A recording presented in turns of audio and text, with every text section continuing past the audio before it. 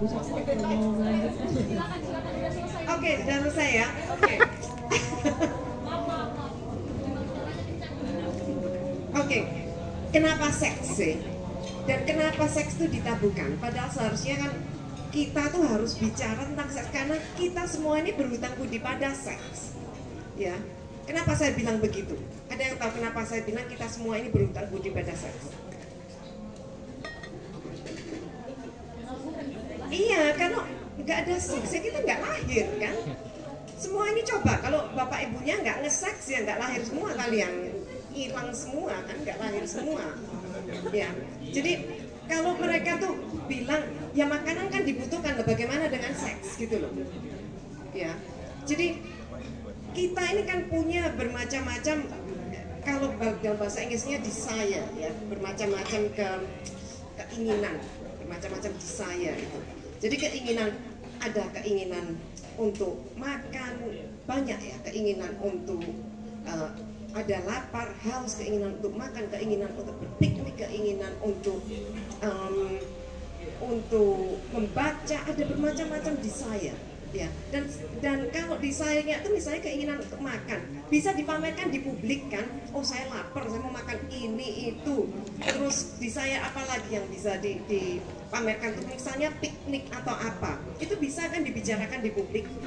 Juga bayangkan makanan itu iklannya kan di publik itu di mana-mana. Ya iklan iklan makanan. Bahkan iklan rokok itu masih di, di, di sebar di mana-mana. Jadi saya untuk merokok itu kan masih um, tidak dianggap tabu. Padahal merokok itu sangat berbahaya. Tapi kalau di saya dihubungkan dengan seks ini jadi jadi lucu. Karena apalagi kalau di Indonesia seks itu sebenarnya bisa dilihat di mana-mana iklannya sebenarnya ada di mana-mana tapi disembunyikan.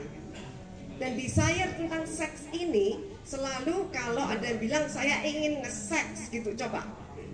Bilang gitu di depan umum. Ya yeah. I want to have sex gitu kan. Tapi kalau I want eh, saya, saya mau makan saya mau minum saya aduh saya lapar sekali gitu ya. Oke okay, kan? Saya haus sekali tapi saya ingin nge-seks sekali. Gimana coba tanggapannya Padahal apa bedanya gitu loh. Jadi saya itu kan apa bedanya mau makan, mau minum dengan mau nge-sex. Asal yang bertanggung jawab, ya. I have to be responsible, that's it. Ya. Kalau mau makan ya bertanggung jawab ya jangan rampok punyanya orang kan. Makan ya makan makan makanannya sendiri, minum ya minumnya sendiri. Nge-sex kan sama juga gitu loh. Kalau mau nge-sex ya yang etis. Jangan memperkosa, jangan maksa. Makan kan kan juga gitu. Jadi dalam semua desire itu yang penting itu kan etika ya. Bukan desire-nya itu bagi saya desire ya kalau kamu mau makan mak kepingin makan sekali kepingin eh, apa kamu haus sekali oke okay, nggak apa-apa ya. Tapi yang etis jangan ngerampok jangan maksa orang untuk memberikan makanan ke kamu atau gimana yang etis. Dengan seks sama saja kan? Kalau mau seks yang etis gimana seks yang etis itu ya harus suka sama suka ya. Jadi etikanya ini yang akhirnya harusnya diperhatikan bukan seksnya itu sendiri atau atau desire-nya. Ini yang saya lihat di Indonesia itu dari dulu waktu saya baru menulis ini ya saya kan menulis artikel-artikel ini sejak kapan? 20, 20 tahun yang lalu kalau nggak salah 20 tahun lebih ya. Sudah sekitar 20 atau 30 tahun yang lalu gitu saya mulai menulis ini sampai sekarang zaman milenial zaman komputer itu banyak yang nggak berubah. Masih saja kalau saya bilang saya mau bicara tentang seks masih uh gitu tanggapannya ya. Dan manusia ini sering kali memang meremehkan sesuatu yang mereka tuh sebenarnya berhutang budi pada hal itu. Misalnya seks, itu kan kita berhutang budi pada seks ya. Seks itu sangat penting bagi kehidupan kita, tapi kemudian direndahkan. Ada lagi yang begitu yaitu perempuan. Jadi kebalikan gitu loh mereka tuh konsepnya tuh dibalik supaya mereka tuh kadang-kadang menutupi kelemahan. Perempuan ini orang-orang biasanya mereka yang merendahkan perempuan kan bilangnya perempuan tuh lemah. Iya kan? perempuan tuh lemah coba yang bilang gitu disuruh mens. Atau disuruh hamil. Disuruh melahirkan. Bisa teriak-teriak itu. Melahirkan yang ini ya eh, karena hamil itu 9 bulan disuruh begitu tuh parah. Berat tuh ya. Mens itu sakitnya seperti apa dan melahirkan itu sakitnya seperti apa? Melahirkan itu. Cowok mau nggak dibelah seperti itu tubuhnya cowok yang merendahkan perempuan ya.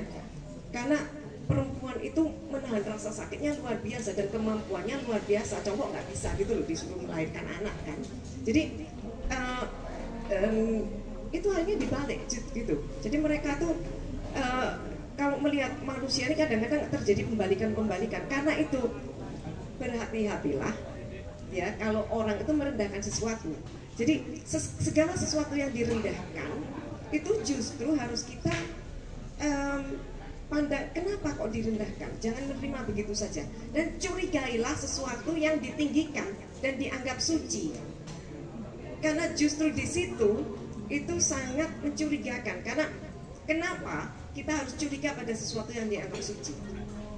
Karena sesuatu yang dianggap suci itu tidak bisa dikritik ya. You know what suci means? Holy everything that is considered holy cannot be criticized and that's dangerous. Dan itu berbahaya. Jadi saya selalu bilang kalau ada sesuatu yang dianggap suci pertanyakan. Anything that's considered holy question it. Ya pertanyakan. Jadi karena itu saya menulis buku ini. Karena saya ingin selalu mempertanyakan apa saja yang dianggap suci? Ya um, itu saja pembukaannya. Silakan kalau ada yang lain ya. Um, karena nanti saya bisa bicara ini nggak selesai saya nggak usah teruskan